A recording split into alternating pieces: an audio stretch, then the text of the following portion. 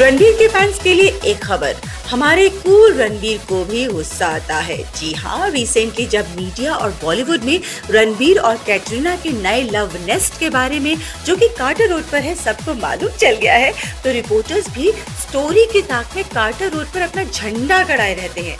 अब हाल ही की बात है 11 नवंबर की रात को जब रणबीर और कैटरीना इस ठिकाने के दरवाजे में घुस ही रहे थे तो कुछ फोटोग्राफर्स ने उन मोमेंट्स को कैप्चर करने की कोशिश की और बस फिर हमारे रणवीर भैया को आ गया गुस्सा। जी हाँ वो अपना सारा कूल खो बैठे और बन गए angry young man he became abusive he went after them और तो और कैमरा पर्सन का बैग जो कि चैनल वालों के कार में था, उससे लेकर चल दिए।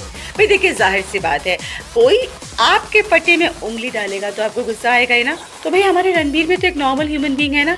कूल वेरी कूल ये सब तो चलता ही रहता है।